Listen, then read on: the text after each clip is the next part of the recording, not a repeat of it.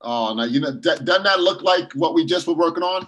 So this is a this play here is going to be a great indication of what we do offensively and how um, it builds up from our breakdown stuff.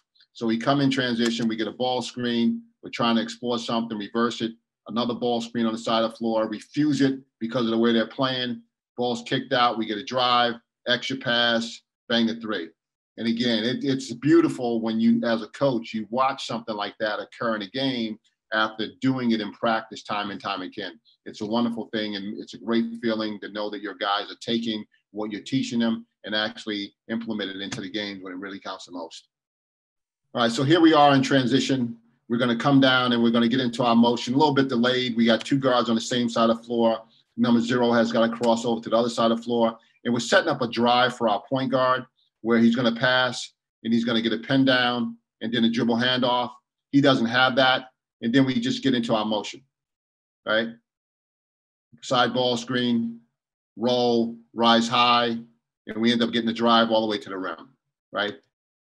Here we are in transition. Our point guard really tries to push it to get something easy. He doesn't have anything there. Um, and now, now we pull it out and we run a little a high pick with a back door. We know North Carolina is going to overplay, and we set them up, and we get a backdoor cut. We space the floor. Everybody's spaced out because they're denying, and we get something easy. Nice look, nice play for the team. Here we are in transition after made shot, little ball screen, dribble handoff, postman rise high, side ball screen, get into the paint, and he makes a play. Again, trying to go side to side, bending the team so we break them. All right, here's a uh, cutter look where we go dribble handoff. Postman pops out, first guard cuts through. We get him overplaying, back cut, foul. We come down and we get into our motion, four out one in. Little ball screen, roll and replace. Pick and roll on the one side of the floor.